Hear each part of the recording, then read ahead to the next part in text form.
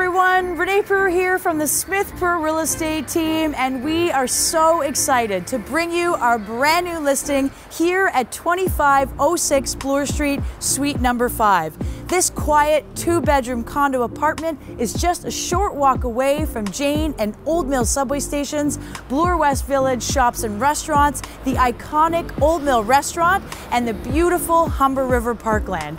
Also, it is in the catchment for top rated schools, Swansea Public School and Humberside Collegiate. Now, I am so excited to show you this home, so let's have a look inside. This spacious 910 square foot suite has a large open plan living and dining room. Here we are on the ground floor at the back of a two-story building and it has tranquil views overlooking Traymore Park and the prestigious Old Mill neighborhood. This recently renovated kitchen has quartz counters, undermount lighting, a large pantry, and an adjoining breakfast area.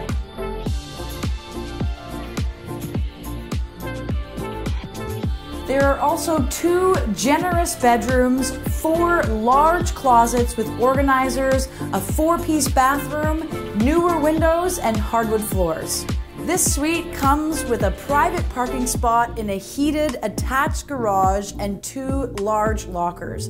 There is also extra parking for visitors at the rear of the building. There are various flower beds at the building that are available for the owners to garden if they choose. What a great opportunity to own a very spacious condo in the prestigious Old Mill neighborhood.